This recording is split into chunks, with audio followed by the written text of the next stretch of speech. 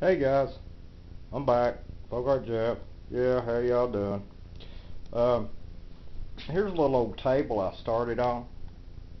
I found this uh, slab of wood, and uh, I'm gonna add some like uh, some legs. Well, I actually made up stuff like this.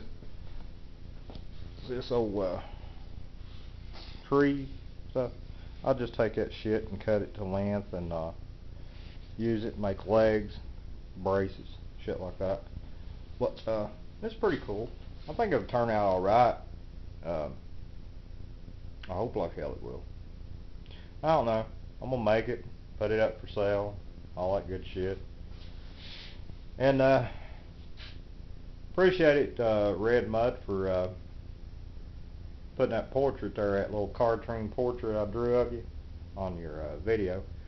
And thank you, Chicken George, for uh, posting something there about me on Chicken Dead Chicken. Y'all are guys are all the shit. What's up with you? Ah, hell, I'm just up here goofing off in Tennessee.